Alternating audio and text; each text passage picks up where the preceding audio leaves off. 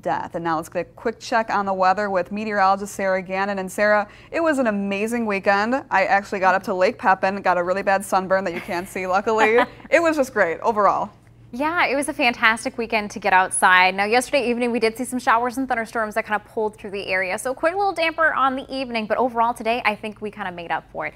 High temperatures today mainly topped off into about the mid to low 80s towards the eastern side of our viewing area and then even into the upper 80s and lower 90s off towards the I-35 corridor. So it's a beautiful sunny day, nice and warm. And if you love today's conditions, we're going to turn up the heat just a couple more degrees here as we head into our Monday. So as we kind of look at things and what's in store here for the upcoming work week, we are planning on kind of a rather warm and a little muggy start to the work week for our Monday. We'll look to see temperatures topping off into the lower 80, lower 90s and also seeing dew points well into the 60s, creating some very sick, sticky, summery conditions here to kick things off. Then as we head into Tuesday and Wednesday, we're tracking some several rounds of heavy rainfall for the area. We'll have to watch that very closely. Could see the potential for some flooding in the area as well. Like I said, monitoring that very closely. Then towards the late week, temperatures will be cooling down quite a bit, at least uh, compared to what we're experiencing right now. And then also kind of a little more seasonably cool for what we should be seeing this time of the year. But overall, shouldn't be too bad.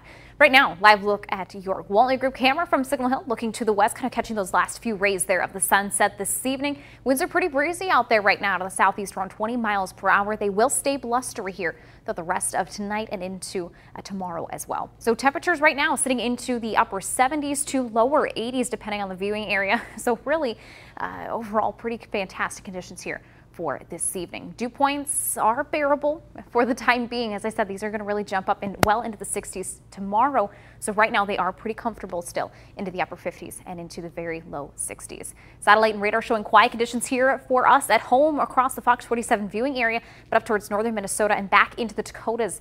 Parts of those areas are experiencing some severe weather in the area, so wind, hail, even the threat for some tornadoes. But good news is that will stay out of our area for tonight and even tomorrow. Our next chance for some precipitation moves in for Tuesday and then into Wednesday. So as we kind of time things out here with our future future cast, things will stay dry, very quiet for tonight. Not looking to be experiencing anything associated with that severe weather to our north and to our west. For then your Monday, we will look to see more sunshine across the area. So really lather on the sunscreen. Make sure to stay very hydrated tomorrow. It's going to be feeling very sticky, very middle of summer like uh, with those temperatures into the lower 90s and dew points then into the upper 60s. By Tuesday then we'll start to see the cloud cover increasing across the area. And by Tuesday afternoon looking at the chance for some widespread showers and thunderstorms across the area.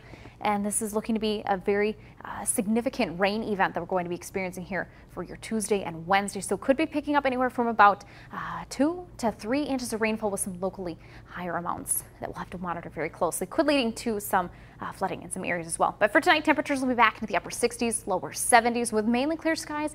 Breezy conditions though as well. For tomorrow, looking to see most folks well into the lower 90s, maybe some mid 90s off towards the I-35 corridor. Overall, looking to be a bright, sunny, warm, and sticky day as we check in with that extended forecast, we'll look to see our next chance for precipitation on Tuesday into Wednesday. Temperatures really cooling back then into the low 70s. So cool by our average standards, but overall nothing that will need to, you know, bring out the extra layers or anything like that. It'll just be a little seasonably cool, and I think most folks will kind of enjoy the little bit of heat and then some slightly cooler conditions, but most of the late week then looks to stay pretty dry. Yeah, I totally agree. Yeah, you see those 90 degree temperatures and then a cool off for the weekend. there you go. All right, thanks, Sarah. Well, a desperate plea for help